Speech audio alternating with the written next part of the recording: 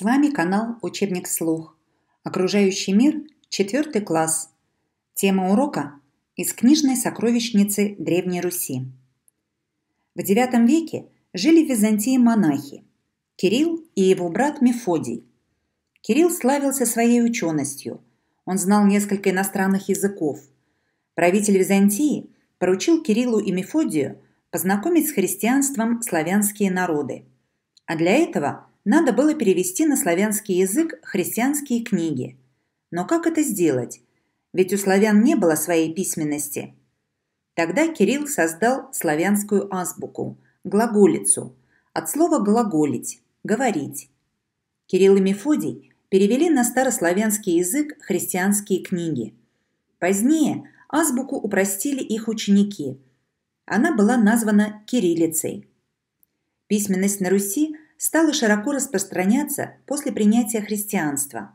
О развитии просвещения заботились многие князья. Князь Владимир велел отдавать в учение детей киевлян. В Киеве и в других русских городах существовали библиотеки. Грамотными были не только знать и служители церкви, но и простой люд. В Древней Руси создавались летописи, записи о важнейших событиях. Велись летописи по годам, из лета в лето. Они писались при княжеских дворцах, в монастырях. Самая известная летопись Древней Руси – «Повесть временных лет».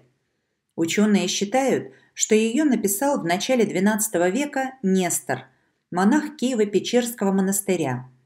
Нестор рассказывает о восточнославянских племенах, нашествиях кочевников, первых русских князьях.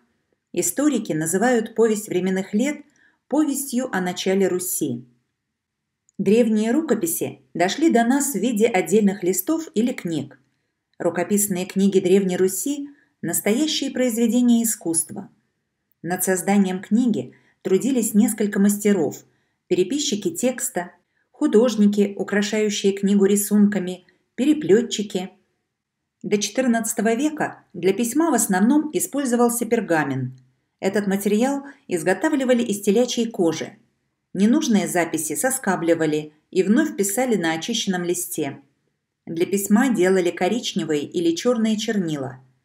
Для украшения рукописей использовали природные краски. Чаще всего это были киноварь, краска оранжево-красного цвета, и охра, краска желтого цвета.